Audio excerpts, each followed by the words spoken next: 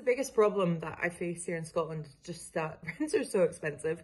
They seem to go up by over 10% every year, and this obviously isn't reflected in a wage increase. Beyond that, the quality of housing in Scotland is just not great. Every flat I've been in seems to have persistent issues with disrepair. You know, that ranges from black mould to damp to leaky roofs to drafty windows, which ends up becoming expensive. One, because you're paying more for your energy, and then two, you're constantly having to go back and forth with your landlord to try to get these things fixed. The biggest struggle I've found related to housing that has affected me has been the lack of safe and affordable housing. Every year that I've lived here as a student for the last three years, it's been tougher and tougher to find a flat.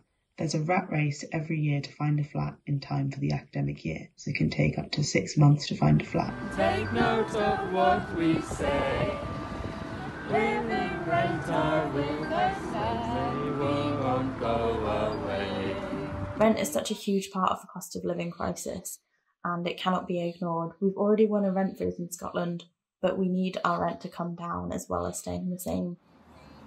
We're campaigning for an immediate start to rent controls, which would be a points based system tied to the quality of property, so landlords would be incentivised to keep up repairs in our cold, drafty homes, and that we would have an affordable rent for everyone in Scotland.